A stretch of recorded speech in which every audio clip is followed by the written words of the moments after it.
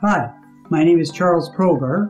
I'm a pediatrician and an expert in infectious diseases at Stanford University. Welcome to Viral Facts with Digital Medic. Today I'm going to speak about Omicron, the storm before the calm. My optimistic view of the road ahead, even in the midst of the current massive Omicron surge, is based upon three factors.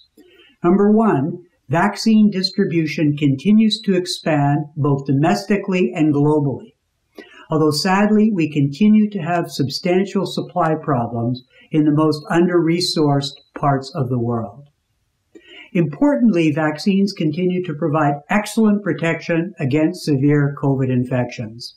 Hospitalizations and deaths are reduced by over 70 to 90 percent in those who have been vaccinated.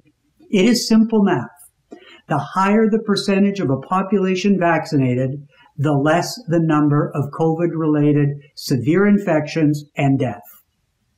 My second reason for optimism is that COVID disease caused by the Omicron variant is substantially less severe than that caused by earlier variants of the virus.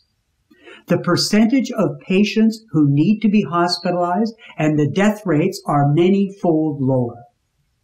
Unfortunately, severe disease and deaths continue to occur in the unvaccinated, and this is unacceptable.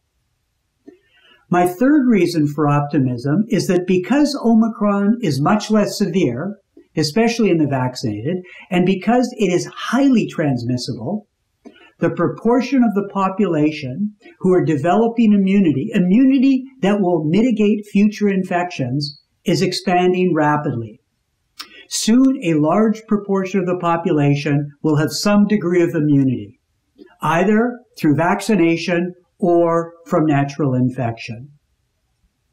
Although a new variant could emerge, Omicron likely will continue to dominate.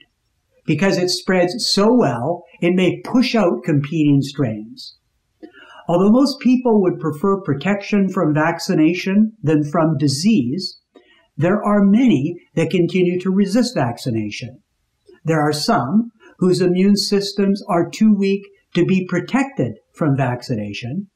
And there are millions of infants and young children for whom a vaccine is not yet available. Also, there are many countries around the world where vaccine supply remains limited.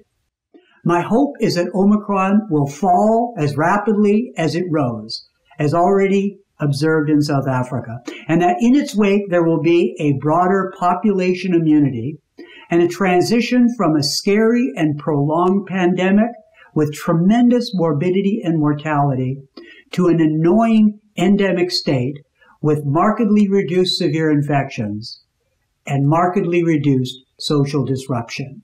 My bottom line is that the pandemic is likely to retreat soon, but in the meantime, let's try to limit severe infections and unnecessary deaths.